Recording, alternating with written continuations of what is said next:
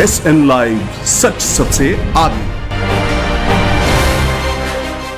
नमस्कार, हम आपको बता दें कि सिवान में इन दिनों एक मामला बेहद तेज़ी से तूल पकड़ा हुआ है, जिसमें सात लाख रुपए की एंबुलेंस खरीदारी को 21 लाख रुपए दिखाए गए हैं। बता दें कि पिछले साल सात लाख में खरीदे गए एंबुलेंस की कीमत 21 लाख बताई गई है, लेकिन सबसे बड़ी बात यह है कि एंबुलेंस आज तक किसी ने देखी ही नहीं।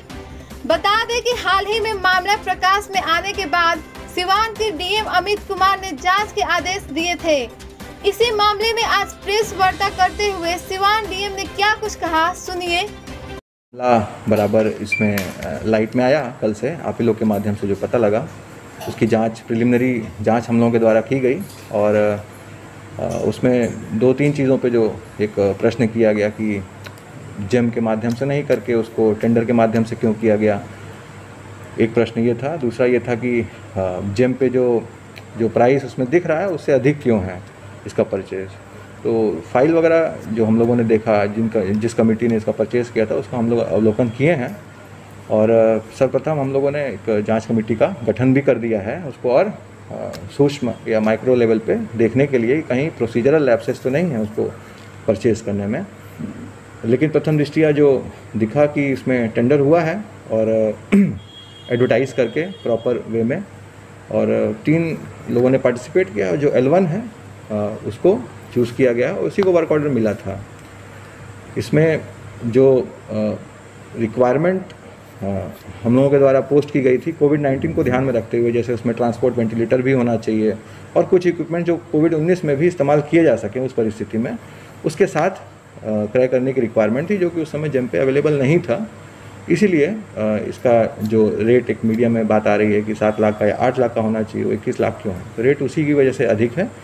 और और प्रोसीजरल लैप्सेस प्रथम दृष्टिया कहीं दिख नहीं रहे हैं, लेकिन फिर भी हम लोगों ने एक त्रिस्तरीय जाँच कमेटी बना दी है। दो से तीन सप्ताह में वो अपना रिपोर्ट सौंपेगी और उसमें कहीं भी कोई लैप्सेस होते हैं तो बिल्कुल हम लोग उस पर कार्रवाई करेंगे। देखिए, जो मेजर पॉइंट्स हैं जिस पे हम लोग जाँच करेंगे, वो बेसिकली वही हैं जिस पे प्रश्न उठे हैं कि जेम से क्यों नहीं किया गया, जो कि मैंने आपको प्रथम दृष्टि बता भी दिया। और इन, इस चीज़ पे भी जाँच होगी कि जो टेंडर प्रोसेस है, वो विधिवत बेसिकली बिहार फाइनेंशियल रूल्स 2005 जो है हमारा, उसका कहीं वायलेशन तो नहीं, बस उसी चीज़ की हम लोग जाँच करेंगे। तो सर जो एंबुलेंस है जिसकी कीमत बताई जा रही है कि सात से आठ होनी चाहिए बाईस लाख है जो उपकरण सर उसमें लगे हैं क्या सर आपको क्या लग रहा है? वो वाकई जो नए नए तकनीक के जो उसमें इक्विपमेंट्स लगे हैं वो हैं होंगे उतने के हाँ फि, फि, फ़िज़िकल वेरिफिकेशन हम लोग करवाए हैं कल ही करवाए बल्कि और उसमें रिपोर्ट है हम लोगों के पास कि जिस जिस चीज़ के अगेंस्ट वर्क ऑर्डर मिला था एक एंबुलेंस में बारह तरह तेरह तरह का कंपोनेंट होता है सबका अपना अपना प्राइस होता है। तो वो सारे इक्विपमेंट्स है कि नहीं जो कि उसमें फ़िज़िकल वेरिफिकेशन में पाएगा। और प्राइस के डिफरेंस ये भी पता चला नहीं प्राइस तो देखिए ऐसा है ना कि प्राइस किसी चीज़ का क्या होगा? आज देखेंगे तो आपको कुछ मिलेगा कोविड काल में मिलेगा कुछ और ऐसा भी होता है कि मिले ही नहीं सामान चाहे कितना भी पैसा आप दे दीजिए उसके लिए। तो प्राइस क्या होता है? मार्केट डिसाइड डिसाइड करता है। जिस साल टेंडर हुआ होगा जिस परिस्थिति में हुआ होगा प्राइस उसी के हिसाब से डिसाइड होता है। आज बैठे बैठे हम बहुत आसान है हमारे लिए कह देना कि देखिए ऑक्सीजन सिलेंडर 300 का मिल रहा है ऑक्सीमीटर 500 का मिल रहा है तो आपने 2000 का क्यों खरीदा? सर एक मिनी वो वाली बात। आईसीयू भी हम लोग बोल सकते हैं। देखिए इसको एक एडवांस लाइफ सेविंग एंबुलेंस के रूप में आप इसको देख सकते हैं। बस मैं इतना ही कहूँगा अच्छी चीज़ है ये।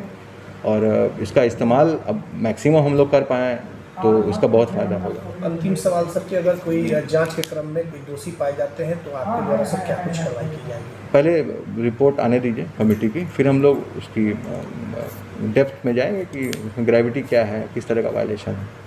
बता दें कि जिस एंबुलेंस की कीमत सात लाख बताई गई है उसके अपग्रेडेशन के नाम पर भी छह लाख बहत्तर हज़ार रूपए ऊपर से लिए गए हैं।